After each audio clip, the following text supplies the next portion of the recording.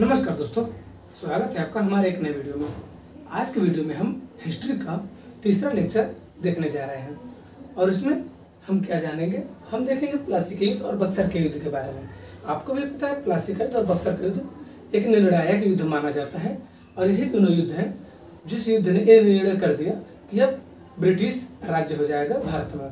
तो दोस्तों, इसको पढ़े होंगे, लेकिन आप कन्फ्यूज़ हो जाते होंगे कि हाँ इसमें अंग्रेज़ों द्वारा नेतृत्व करता कौन थे? बक्सर के युद्ध में नेतृत्व करता कौन था? और किस युद्ध के कारण ब्रिटिश का प्रभुत्व संपन्न भारत में स्थापित हो गया? तो चलिए दोस्तों, बिना किसी कंफ्यूजन के वीडियो शुरू करते हैं। तो दोस्तों, सबसे पहले तो हमें जानेंगे कि प्लासी का युद्ध हुआ क्यों था? मतलब प्लासी के युद्ध होने के पीछे का रीजन क्या था? तो रीजन हम बताते हैं। तो आपको पता है, बंगाल के एक नवाब थे सिराजुद्दौला।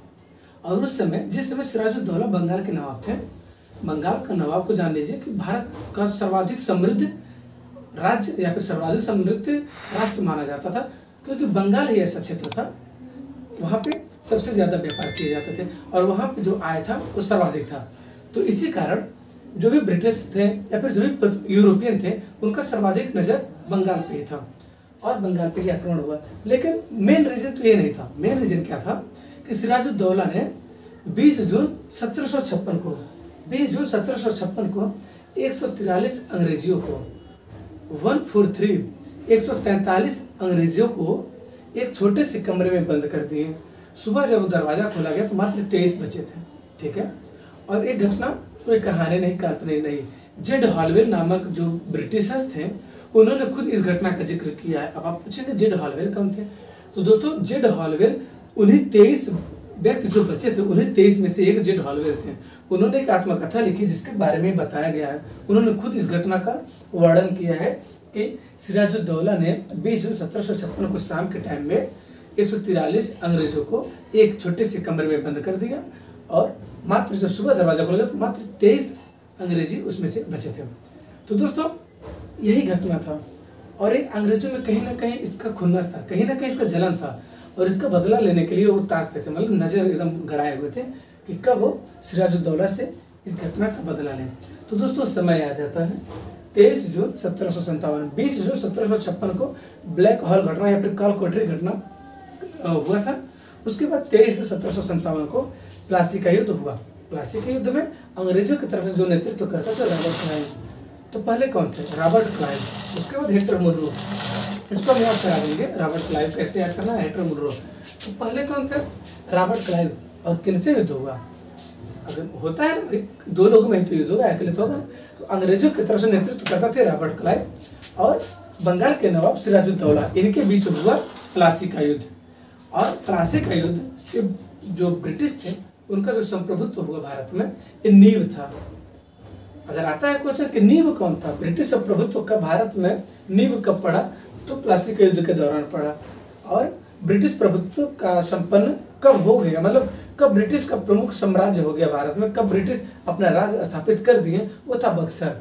तो पहले ये जान लीजिए कि तेईस जून सत्रह सौ सत्तावन को प्लासी का युद्ध हुआ, रॉबर्ट क्लाइव और सिराजुद्दौला के बीच। और फिर बात की जाए सिराजुद्दौला हारे कैसे? तो सिराजुद्दौला को धोखा किसने दिया? ये भी क्वेश्चन बनता है कि सिराजुद्दौला के साथ धोखा किसने किया? तो मीर जाफ़र ने किया। ठीक है? मीर जाफ़र सिराजुद्दौला के साथ गद्दारी की थी, जिस कारण से ये प्लासी का युद्ध हार गए थे। और मीर जाफ़र को फ़ायदा क्या हुआ? तो मीर जाफ़र इस युद्ध के बाद बंगाल का कठपुतली नवाब बना दिया गया। तो वो पपेट नवाब था केवल। अंग्रेज़ों ने अपने फ़ायदे के लिए उसको नवाब बना दिया, लेकिन मीर जाफ़र धीरे धीरे जब उसको एहसास होने लगा कि लग रहा है कि भाई मेरे साथ गद्दारी कर सकते हैं तो अंग्रेज़ों को भी लगने लगा कि भाई अब पैसा पहुँचा नहीं रहा है तो इसको हटाओ। तो इसको हटा दिए मीर जाफ़र को सत्रह सौ साठ में हटा करके मीर जाफ़र के दबाव थे मीर कासिम। मीर जाफ़र को हटाने के बाद उसके दबाव मीर कासिम को नवाब बना दिए। और मीर कासिम मुर्शिदाबाद से राजधानी अपने लेकर के चले गए मुंगेर। मुंगेर बिहार का है एक राज्य। तो सत्रह सौ साठ में मीर कासिम को हट, मीर कासिम को बंगाल का नवाब बना दिया गया। और ये अपने मुर्शिदाबाद से राजधानी लेकर चले गए मुंगेर। और मुंगेर में ही तोपखाना खोला। और एक क्वेश्चन आता है कि मुंगेर में गोला बारूद तोपखाना किसने खोला था? तो थे मीर कासिम। इन्होंने अपने राजधानी मुर्शिदाबाद से मुंगेर लेकर चले गए थे। और इन्हें भी कहीं ना कहीं बात लग रहा था कि मीर जाफ़र के साथ गद्दारी किया अंग्रेज़ों ने तो मेरे साथ भी गद्दारी कर सकते थे। और यही प्रमुख कारण था कि इन्होंने अपनी राजधानी परिवर्तन किया। ये क्वेश्चन अगर आ जाए कि मुर्शिदाबाद से लेकर के मुंगेर राजधानी किसने किया? तो मीर कासिम। और इसका कारण क्या था? तो इसका कारण यह था कि इन्हें भी लग रहा था कि कहीं ना कहीं मीर जाफ़र के साथ जैसे गद्दारी किया, वो गद्दारी हमारे साथ भी कर सकता इन्हें डर था। ब्रिटिश साम्राज्य से इन्हें डर था डर के कारण इन्होंने अपनी राजधानी परिवर्तन किया था। अब क्वेश्चन ये कहता है कि प्लासी के युद्ध के समय मुगल बादशाह कौन था? तो प्लासी के युद्ध के समय मुगल बादशाह था आलमगीर द्वितीय। तो उम्मीद है दोस्तों, यहाँ तक क्लियर हो गया। अरे ब्रिटिश प्रभुत्व की नींव, ये तो पहले बता दिया गया कि नींव पड़ा था प्लासी के युद्ध से। तो एक बार और रिविजन करते तेईस जून सत्रह को क्या घटना तेईस जून सत्रह को प्लासी का युद्ध हुआ रॉबर्ट क्लाइव उसके बाद सिराजुद्दौला के बीच। और सिराजुद्दौला को धोखा किसने दिया? धोखा दिया मीर जाफ़र ने। और तीन साल तक के लिए उसे नवाब बना दिया। सत्रह सौ सत्तावन से लेकर के सत्रह सौ साठ तक मीर जाफ़र को पपिट नवाब, या फिर एक तरह से तो पालतू नवाब बनाया गया था, कठपुतली नवाब बनाया गया।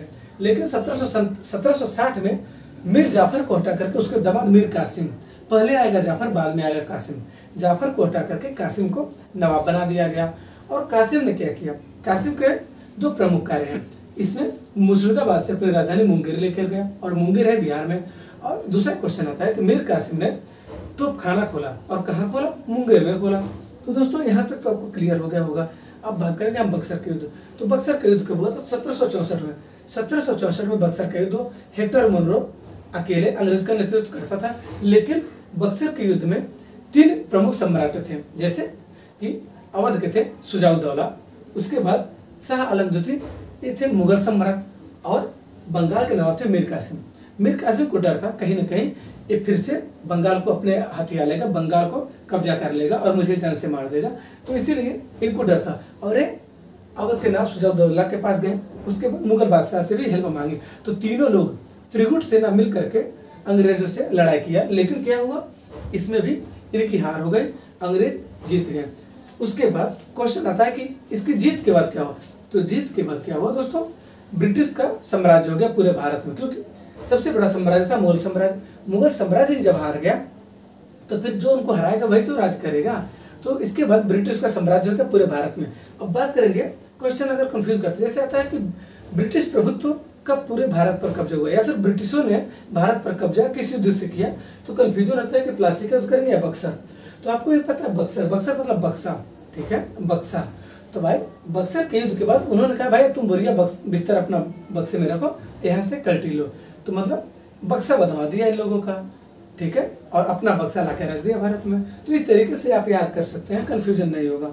तो प्लासी के युद्ध से ब्रिटिश प्रभुत्व का नींव पड़ा, और बक्सर के युद्ध से ब्रिटिश प्रभुत्व भारत में जारी हो गया या फिर ब्रिटिश साम्राज्य भारत में जारी हो गया। और इस युद्ध के पश्चात इलाहाबाद की संधि हुई। इलाहाबाद की संधि में मुगल बादशाह को प्रथम पेशनर शाह आलम द्वितीय को बनाया गया मतलब कि हर साल एक राशि के रूप में शाह आलम द्वितीय को अंग्रेज़ कुछ देंगे नजराने के रूप में। और क्वेश्चन आता है कि भारत के प्रथम पेंशनर कौन थे? तो थे शाह आलम द्वितीय। उम्मीद है दोस्तों, यहाँ तक क्लियर हो गया होगा। ब्लैक होल घटना, इसको आपको याद कर लेना है कि 20 जून सत्रह को एक सौ अंग्रेज़ों को एक छोटे से कमरे में बंद कर दिया गया। सुबह जब कमरे का दरवाज़ा खोला गया तो मात्र तेईस व्यक्ति ज़िंदा बचे। उन तेईस में से जिद हॉलवे नामक व्यक्ति जो थे, उन्होंने यह आत्मकथा में अपनी ये बात पूरी बताई है कि ऐसे ऐसे घटना सिराजुद्दौला ने किया था। उसके बाद आपको प्लासी के युद्ध का सन याद कर लेना है। तेईस जून सत्रह फिर बक्सर के सत्रह सौ चौसठ, याद कर लेना है। फिर क्या याद करना है? सबसे पहले आएँगे कलाई फिर आएँगे मुनरो।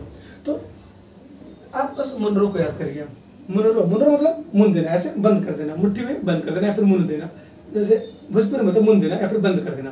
तो मुनरो, भाई, जब युद्ध जीत ही जाएँगे तो इन तीनों को एक तरह से बंद कर दिए मतलब भारत में जितने भी छोटे छोटे राजा थे, उनको मूड दिए मतलब बंद कर दिए और अपना सब प्रभुत्व स्थापित कर दिए। तो इस तरीके से आप थोड़ा बहुत ट्रिक लगा के याद कर सकते हैं, लेकिन सीक्वेंस में याद करेंगे तो आसानी से आ जाएगा तो प्लास्टिक और बक्सर का मोस्ट इंपॉर्टेंट चैप्टर था मोस्ट इंपॉर्टेंट टॉपिक था। इससे मात्र इतने जो लिखे गए यही क्वेश्चन आपके UP police constable UP S तक आ सकते हैं। मान लीजिए यूपी पीसीएस या फिर उससे ऊपर का एग्ज़ाम देंगे, तब इसमें से और डिटेल में क्वेश्चन आता है। तो दोस्तों, उम्मीद है वीडियो पसंद आया वीडियो पसंद आया हो तो लाइक करिए चैनल को सब्सक्राइब करिए। मिलते हैं फिर किसी नेक्स्ट वीडियो में। तब तक के लिए जय हिंद, जय भारत।